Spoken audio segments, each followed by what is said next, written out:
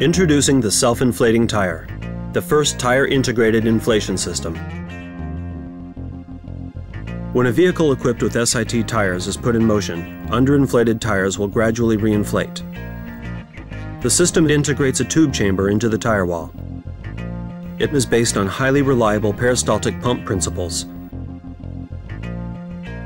The tube chamber is kept closed at its lowest point by the normal tire deformation caused by the weight of the vehicle.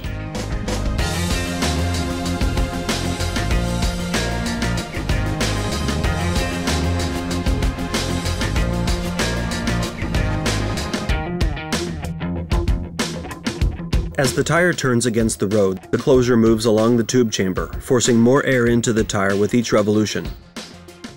The inflation stops automatically once the desired tire pressure is reached.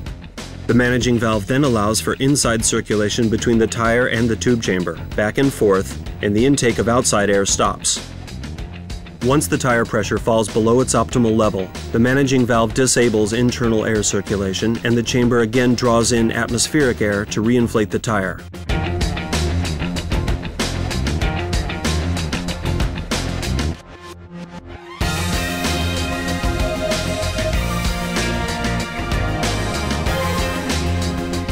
The SIT system is extremely simple, consisting of only two components, the chamber integrated into the tire wall and the managing valve. The mechanical valve can optionally be replaced by an electronic valve. The chamber can be part of the rim instead of the tire wall.